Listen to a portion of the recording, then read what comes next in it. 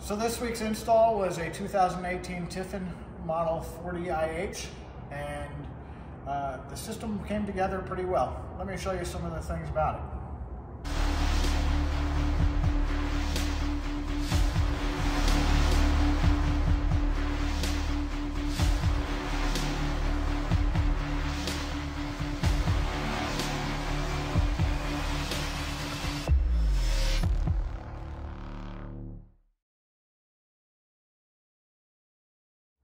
So the inverter install that we did, we installed a multi-plus 2 2x120. It is mounted in the same bay as the OEM Magnum installed inverter. Uh, it's just mounted on the wall instead of being mounted on the ceiling. We are using the same OEM switches for battery power for the coach DC battery power and the inverter battery power. So there's no new systems to learn that way. What we ended up having to do was run an AC wire from the location of the stock automatic transfer switch from in the rear all the way up to the front to go into the inverter and then back to the, the transfer switch so that the inverter is going to receive the power as soon as it comes in from either the generator or the shore power connection. And then power will feed from the inverter directly to the the main circuit breaker panel. So the batteries that we installed in this coach, we ended up going with two GC3 uh, game changer batteries from Battle Born. They are 270 amp hours each. Uh, they are individually run to a uh, Lynx distributor, which we did the light kit for, so it lights up to indicate whether or not your fuses are good or bad. We installed a Smart Solar MPPT 15085 to harvest the sun through six solar panels up mounted up onto the roof. And then a smart shunt in order to keep track of the power usage.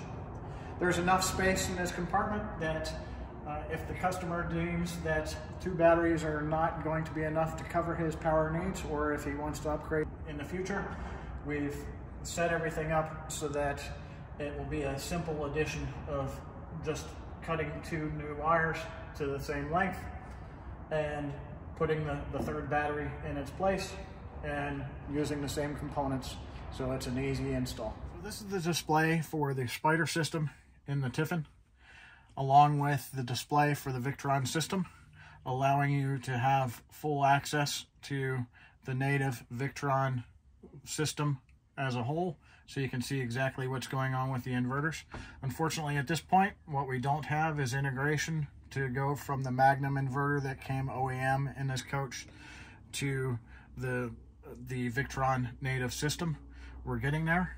However, what we do have the ability to do is to basically tell this system that the inverter is providing a, uh, a single phase source of power so that the energy management system of the coach is going to be able to throttle devices based on the fact that it's only receiving 2400 watts from the inverter itself.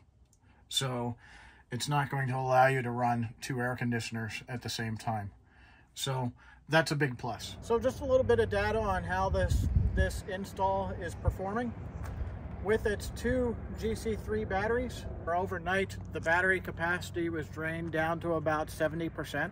By the time I started charging this morning, it was just over 70%. Through the harvest today, we had pretty clear skies, but we are talking about the uh, the back end of the winter solstice, so the days are still pretty short. The, the sun is still pretty low in the sky. Uh, we've been able to harvest over 3.2 kilowatts of solar power back into these battery banks that allowed it to recharge the battery bank to 100% by approximately 2 o'clock this afternoon.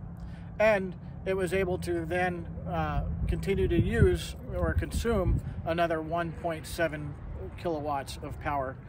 The only thing running on this fridge right now has been a residential refrigerator, but this is a perfect example of being able to recoup battery power without having to run the generator to keep the systems functioning so that you can continue to live.